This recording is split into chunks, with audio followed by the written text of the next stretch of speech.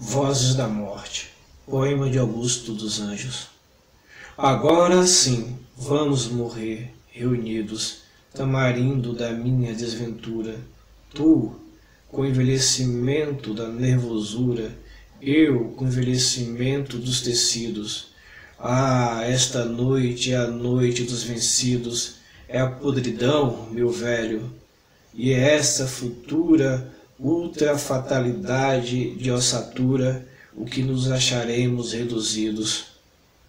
Não morrerão, porém, tuas sementes, e assim para o futuro, em diferentes florestas, velas, selvas, glebas, trilhos, na multiplicidade dos teus ramos, pelo muito que em vida nos amamos, depois da morte, ainda teremos filhos. Aqui é uma coisa interessante, essa ideia da impossibilidade de morrer plenamente.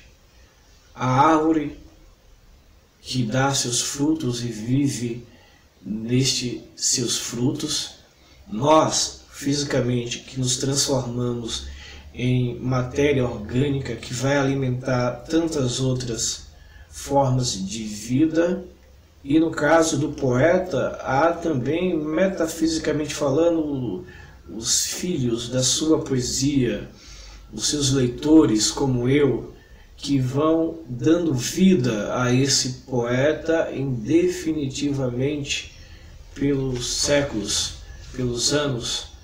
É, então, toda vez que eu leio Augusto dos Anjos, ele vive em mim e vive também em quem está é, ouvindo os seus versos.